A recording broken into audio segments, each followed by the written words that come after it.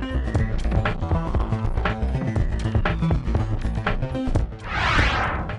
بریتانیا امروز به شرکت های تجاری دستور داد تجارت با دو مؤسسه ایرانی را متوقف سازند چون نگرانی هایی در این مورد وجود دارد که این دو مؤسسه به ایران در ساختن بمب ای کمک می کنند این دستور در مورد بانک ملت و کشتیرانی جمهوری اسلامی صادر شده است.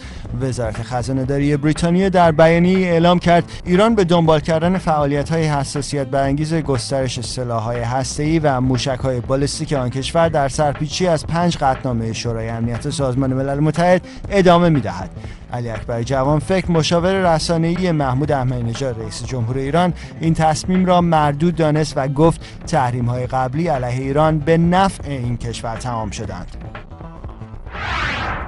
یک بمبگذار انتحاری که بمب را در اتومبیلش جایسازی کرده بود امروز با حمله به یک خودرو نظامی در حال عبور از بازاری شلوغ در شمال غربی پاکستان 41 نفر را کشت و 45 نفر دیگر را مجروح کرد.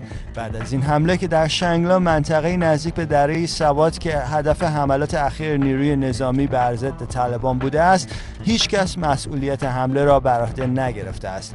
این انفجار تازه ترین مورد از یک رشته حملات بزرگ در پاکستان است.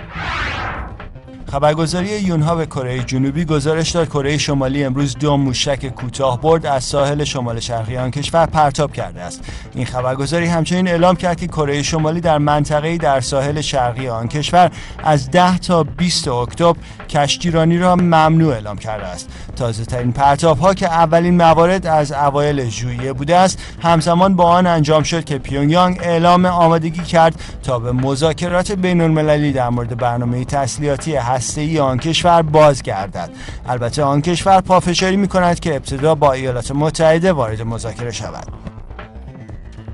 این خبرها و خبرهای دیگر در تلویزیون واشنگتن